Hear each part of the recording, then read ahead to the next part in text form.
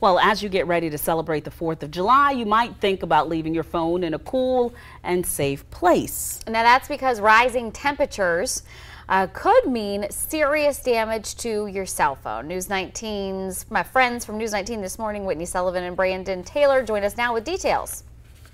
We can't stress it enough. This heat is going to be dangerous, but those dangers don't just affect your body. That heat can be hard on your electronic devices as well. Well, you may have seen a message on your phone once or twice saying it's overheated, especially if you leave it in your car while running a quick errand.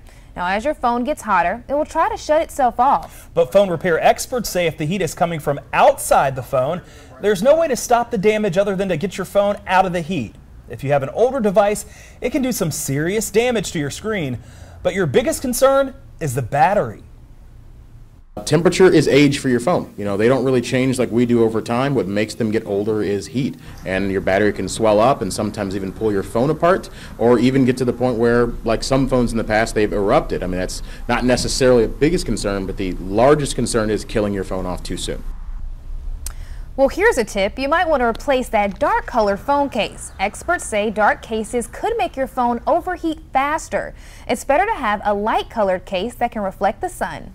All right, some good advice as we get ready to spend some time outdoors for the holiday. But before you kick off the festivities tomorrow, wake up with us. We'll see you bright and early at 4:30 for News 19 this morning.